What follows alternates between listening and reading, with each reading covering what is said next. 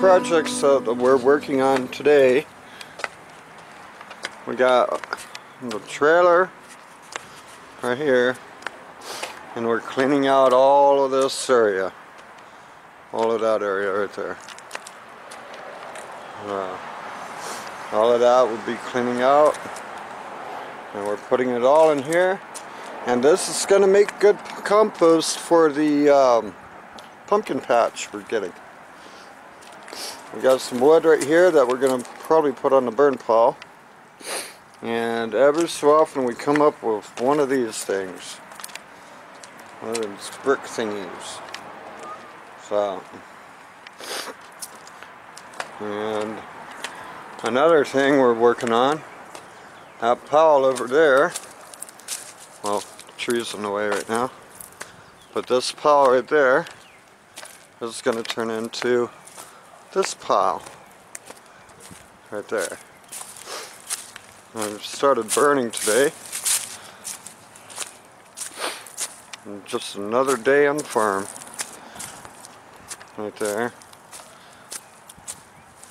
Trying to keep the camera out of the smoke, but I don't know. You ever you ever be at a campfire and no matter what position you sit, the smoke always gets into your face? That we're having the same thing over here.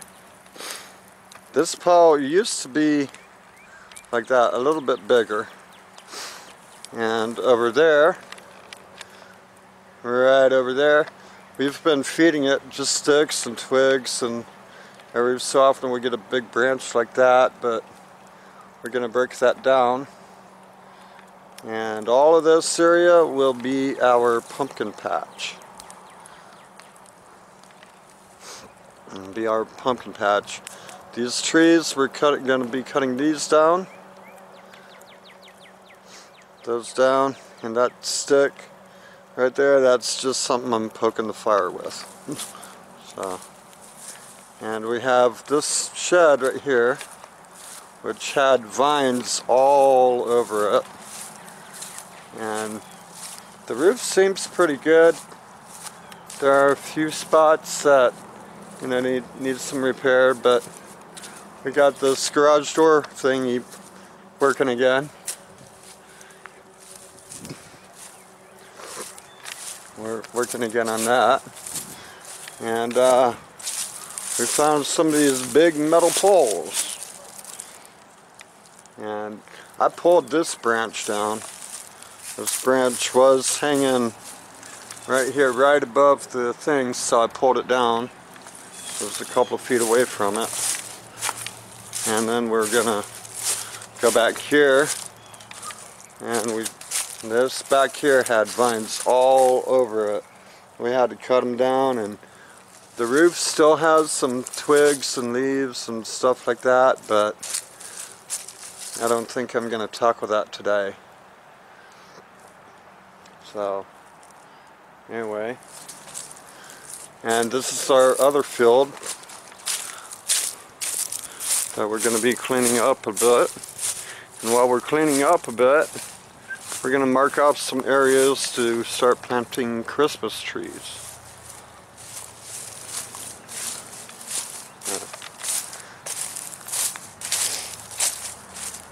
Anyway, another day in the life of living on a farm.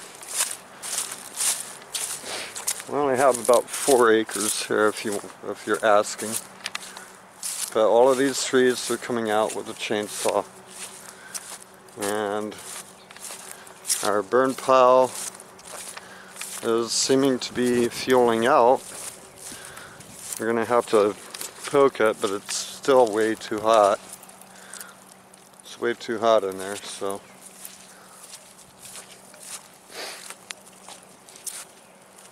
And Arvin's coming. He like, yeah, smoke's getting in his face too. Say hi, Arvin. Hi, Arvin. How you doing? See. Who? Who Yeah, you talking to? YouTube. Who's YouTube? okay. Hmm? internet people. People on the internet. Oh, hi, Internet people. How you doing? yeah, we're working. Yeah, another day in the life, huh? Yeah, another day in the life of I don't know what a you call it. Christmas tree farm. Yeah, but it might be Christmas before we get any planted, but uh, all right. Oh, did I turn on? Yeah, I did. Okay, and here's Irvin getting some more, working with the fire, trying to get it to burn a little better.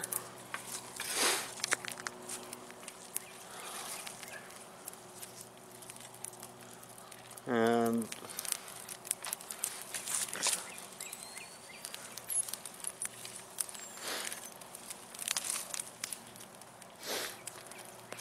Yeah, it seems to be picking up a little bit more too. So instead of just smoldering, we're starting to see flames. That's hot, yeah. wow. Well, don't stand there too long. No, I gotta get. I'm getting it. Getting it piled in. Yeah. We want to pile more wood up here to burn. All right. Burn all that. All right. This is what we've done today. Uh, cleaned out all that. There's big pile of leaves and all that other junk. We're going to be working on this tomorrow. But it's only gone to those posts over here. That little electric post or whatever. And we got all that done right there. So nothing nothing on that side. Again, we're gonna come back in and get everything off the concrete and try and find our driveway back. And on a recap, we're gonna go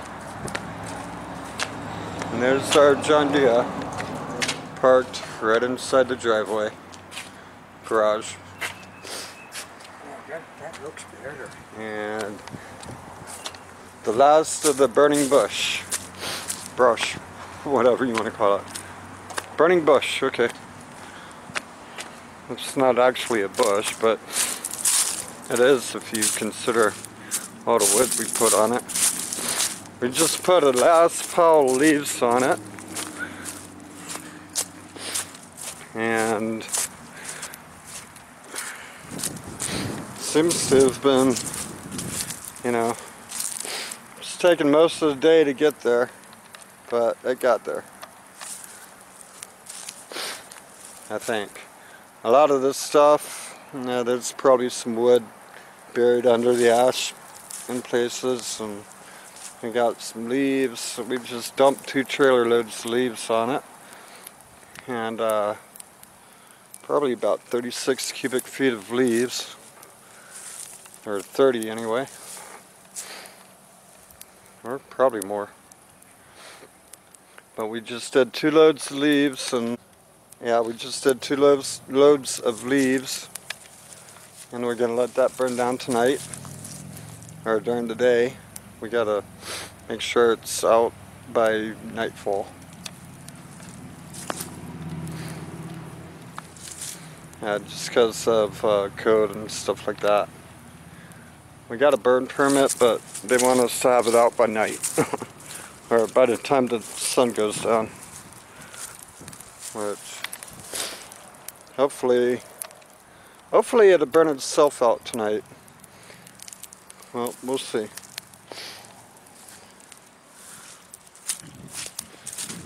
And, uh, That pile is maybe about two feet high. I don't know if you can tell on the camera, but yeah, it's about two feet high right now, and it was it was high, higher than that earlier, and we kept feeding it most of the day, so it's probably burned a pretty good amount. Hole. on the second thought, this area, I showed you a picture of it before, and that is all gone. After we used uh, our little bush hog on it, well, we, we like to call it, I'll go in that in a minute. It took all that stuff out, and then I, I went over it with a lawnmower and just mulched it all up. So, and Arvin's trying to dig this little tree branch out and it's buried in concrete. And our little bush hog is right here. I hope there's enough light. It's right here. Now, what this is, it's a Southland string trimmer, is what they call it. It's two cycles, 17 inch, and this is great. This is what cut down the little bitty trees and everything. I mean, it, it, yeah, it chopped the tree in half. A little bitty one, you know, those little little ones that are about the size of your finger. So, first glance, yeah, I'd, I'd buy one. Well, I did, but yeah, you should buy one. And, and it's light too. It doesn't weigh anything. And you pull it, push it with one hand.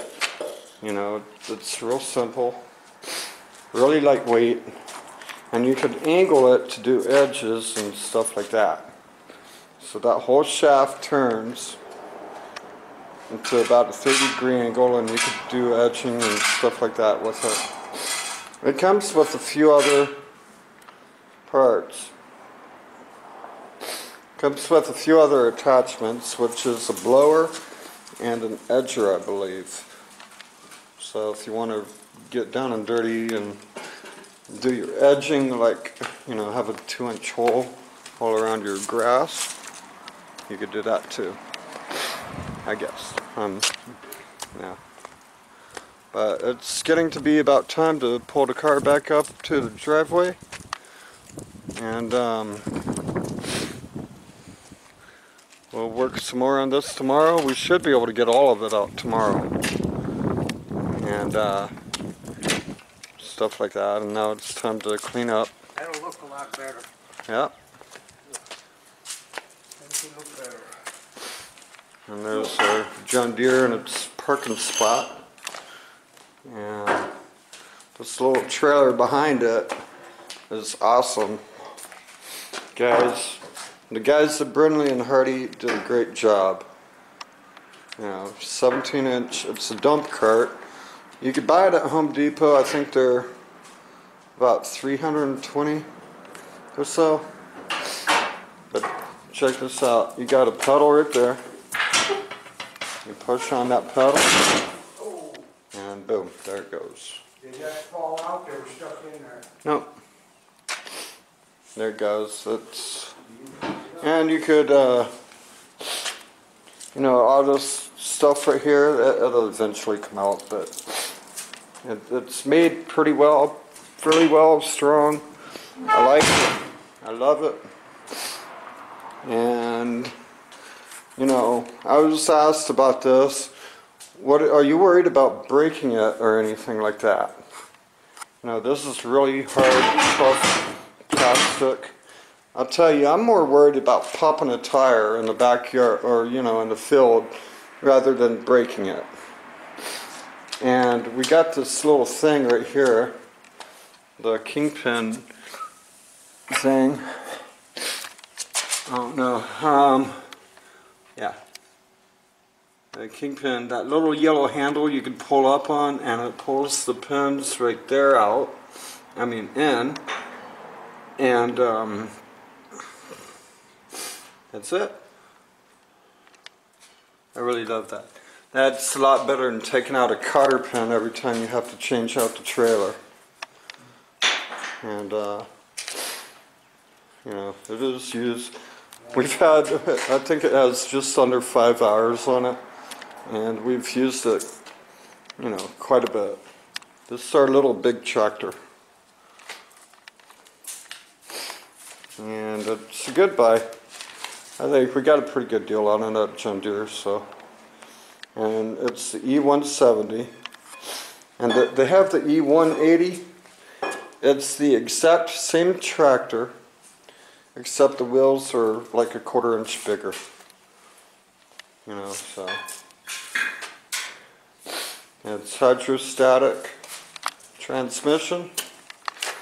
And it's got two pedals, one's forward, one's reverse. And it's got the PTO switch for your mower engagement. Right there. And It's got a key, oh, I gotta take the key out. It's got a key right there. Start ignition. And it's got a steering wheel. And the seat, and this little thing, Oh don't that's just something they put in. But it was, it's like a lumbar support. You turn it one way and it, it, it fills up this, this area. Not with air or anything, but I think there's like a, um, piece of plastic in there that just goes that way. Okay, and that's your, these are the hours on it. Yeah, it even has the hour, let me try and get the hours for you. Okay.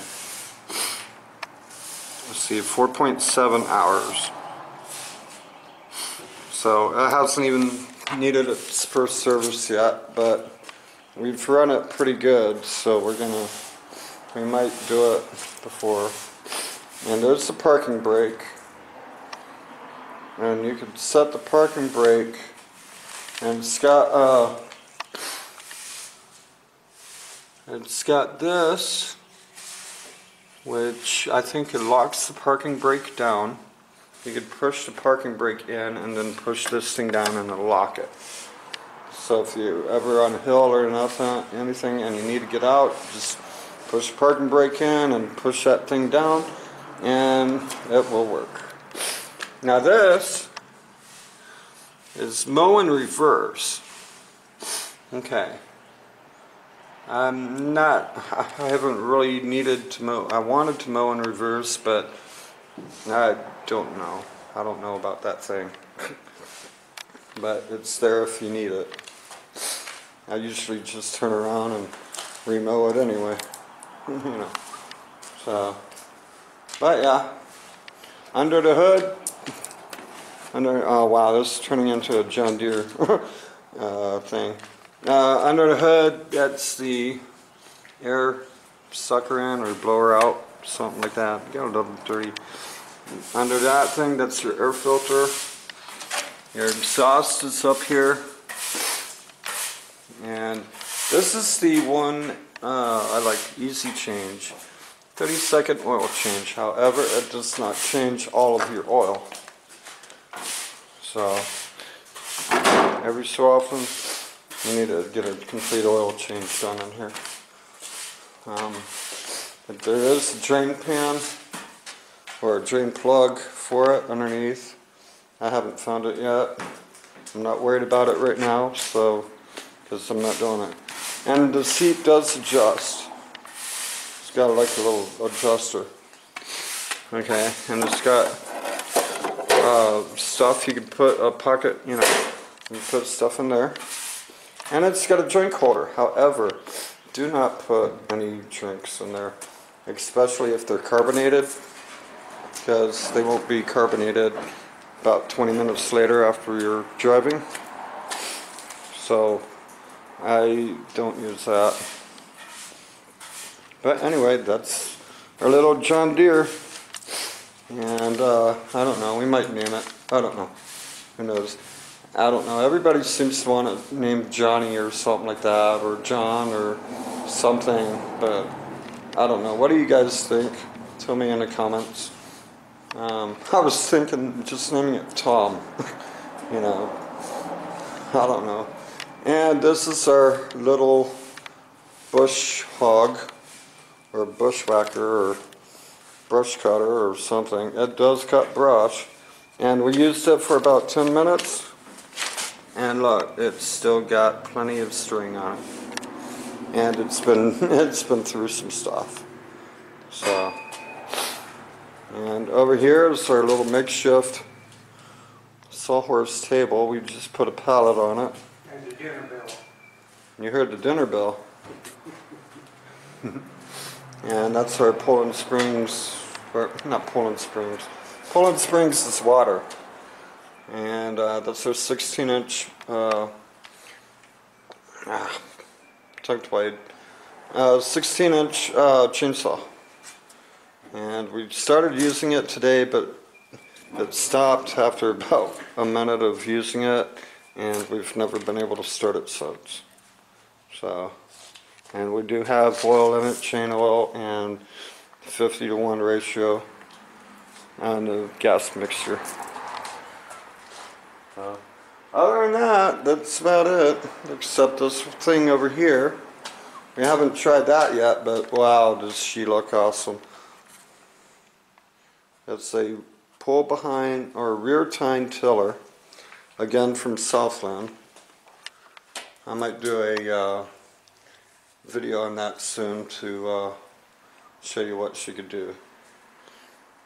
A rear tine tiller. See, it's got. It, we haven't even used it yet. We just put it together. All this stuff, except for the John Deere tractor, you have to put it together. But this wasn't so bad because basically it was all put together and we just had to put a few things on it. Uh, the tractor we did not have to put together. That thing right there, our little bush hog, we had to, yeah, it, it pretty much came in pieces except for the motor. So, but everything's running good. And uh, this trailer here, it will require two people to put it together unless you got eight foot arms or something or you know or something because you got to turn it upside down. You got to put all those nuts and bolts in it and you know screw it in on the other side and you know you got to you got to have you got to be a stretch armstrong to do it with one person. So it's easier to do it with two. And that, uh about wraps up for today. A day in the life of a Christmas tree farmer. We'll see you next time. Bye bye.